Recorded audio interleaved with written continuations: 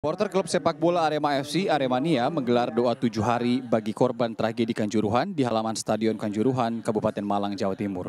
Selain Aremania, saudara doa bersama ini juga dihadiri pemain Arema beserta manajemen dan juga pejabat Pemkap Malang. Doa bersama diwarnai penyalaan lilin berbentuk Arema dengan dilengkapi pita duka.